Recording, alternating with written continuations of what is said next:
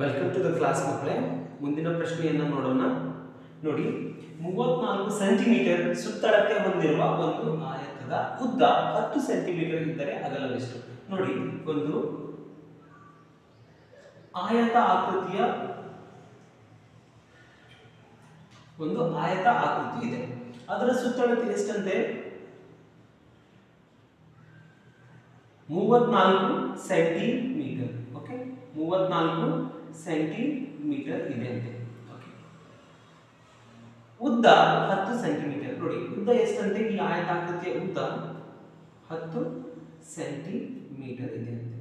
Okay ನೋಡಿ, ಉದ್ದ ಹತ್ತು ಸೆಂಟಿಮೀಟರ್ ಇದ್ದರೆ ಅದರ ಅಗಲ ಎಷ್ಟು? ಅಗಲ ಎಷ್ಟು ಕಂಡುಹಿಡಿಯಿರಿ ಅಂತ ಪ್ರಶ್ನೆ ಇದೆ.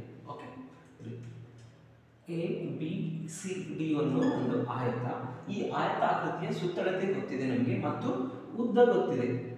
ಉದ್ದ ಎಷ್ಟು? ಹತ್ತು ಸೆಂಟಿಮೀಟರ್ ಇದೆ.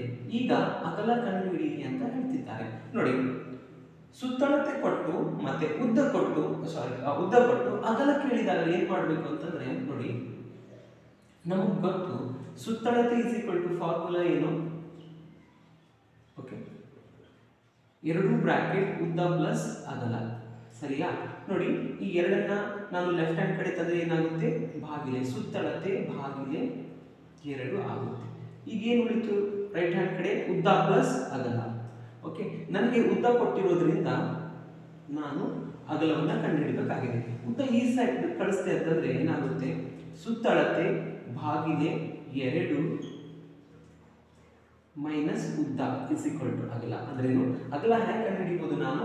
ಸುತ್ತಳತೆಯನ್ನು ಎರಡರಿಂದ ಭಾಗಿಸಿ ಓಕೆ ಸುತ್ತಳತೆಯನ್ನ ಎರಡರಿಂದ ಭಾಗಿಸಿ ಮೈನಸ್ ಸುತ್ತಳತೆ ಎಷ್ಟಿದೆ ಮೂವತ್ನಾಲ್ಕು ಸೆಂಟಿಮೀಟರ್ ಇದೆ. ಮೂವತ್ನಾಲ್ಕು ಸೆಂಟಿಮೀಟರ್ ಬಾಗಿಲೆ ಎರಡು ಮೈನಸ್ ಉದ್ದ. ಉದ್ದ ಎಷ್ಟಿದೆ? ಉದ್ದ ಹತ್ತು ಸೆಂಟಿಮೀಟರ್ ಇದೆ. ಉದ್ದ ಹತ್ತು ಸೆಂಟಿಮೀಟರ್ ನೋಡಿ, ಎರಡು ಒಂದರಲ್ಲಿ ಎರಡು ಹದಿನೇಳು ಓಕೆ ಹದಿನೇಳು ಸೆಂಟಿಮೀಟರ್ ಓಕೆ ಹದಿನೇಳು ಸೆಂಟಿಮೀಟರ್ ಮೈನಸ್ ಹತ್ತು ಸೆಂಟಿಮೀಟರ್ ಅಂದರೆ ಎಷ್ಟಾಗುತ್ತೆ? ಓಕೆ ಏಳು ಸೆಂಟಿಮೀಟರ್ ಓಕೆ ಏಳು ಸೆಂಟಿಮೀಟರ್ ಏನಿದೆ?